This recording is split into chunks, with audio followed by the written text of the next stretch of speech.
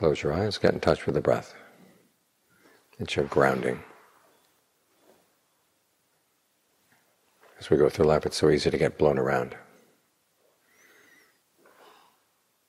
There's a passage in the canon that compares the ways of the world to winds from eight directions. There's gain, there's loss, status, loss of status, praise, criticism, pleasure, and pain. And for most people, it's very easy to get twisted around by these things because the winds change directions very quickly. Sometimes it flows in the direction of gain, and sometimes it flows in the direction of loss. Status, loss of status, it switches around very quickly.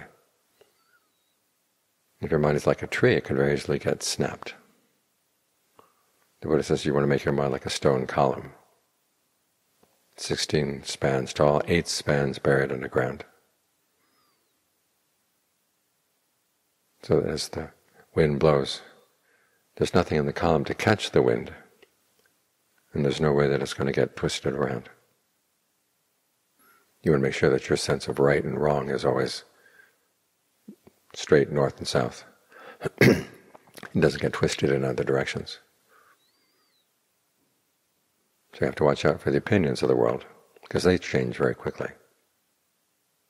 Sometimes they say that right is wrong, wrong is right. Then a few days later they switch around. What was wrong the other day is now right, vice versa. So you can't take the world as your standard. We have to stand in the Dharma. I realize that sometimes means going against the world, but do it in the way of the column. As I said, the column doesn't present much of a face to catch the wind. So you don't catch the things that the world is throwing at you, just let them go past, go past. You stay firm in your foundation. And no matter how strong the winds are, they can't do you any damage. Because you've got this foundation.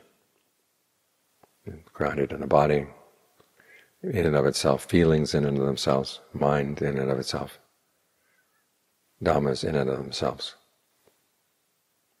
That's your grounding. That's your foundation. Hold on to that foundation. As for the world, can spin around, but you don't have to spin around with it. As Ajaan Lee says, there's whenever there's something spinning, there has to be something in the middle of that spinning that doesn't spin. You want to put your mind there,